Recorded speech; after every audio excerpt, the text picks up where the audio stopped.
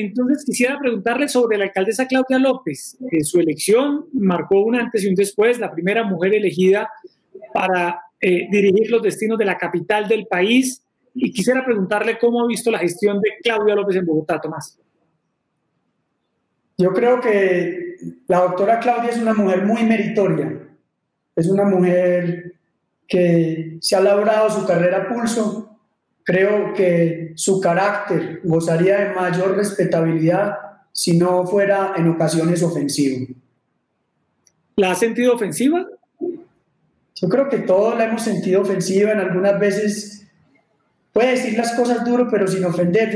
Yo, créame que yo, es, es algo que me ha enseñado la vida. Uno puede decir lo mismo de una manera que agreda a los demás, que los lastime, o puede decirlo con igual claridad, igual vehemencia, pero de una manera constructiva. Don Arturo Calle, que es una persona a quien admiro mucho, dice que hay dos inteligencias, la buena y la mala, que la inteligencia buena es la constructiva y la mala es la destructiva.